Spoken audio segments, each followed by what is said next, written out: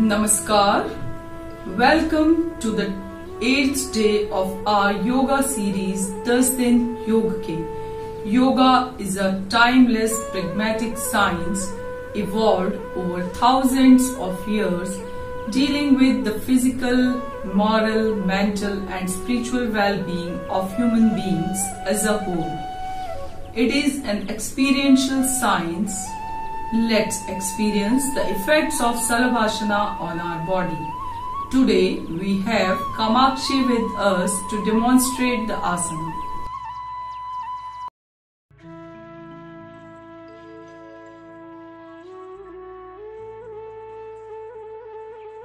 Lie down on your stomach.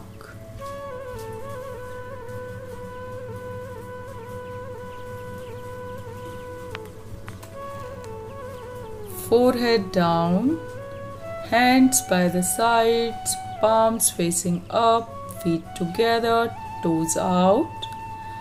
Lift your forehead up.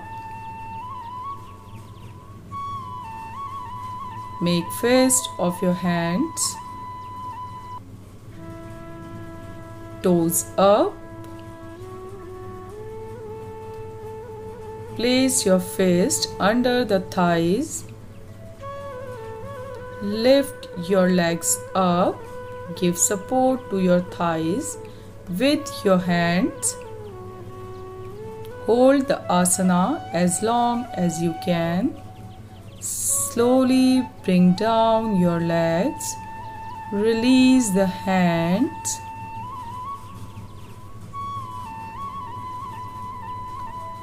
Open your fingers.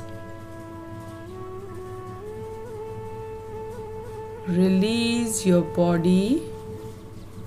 Relax and stay in the same position for some time.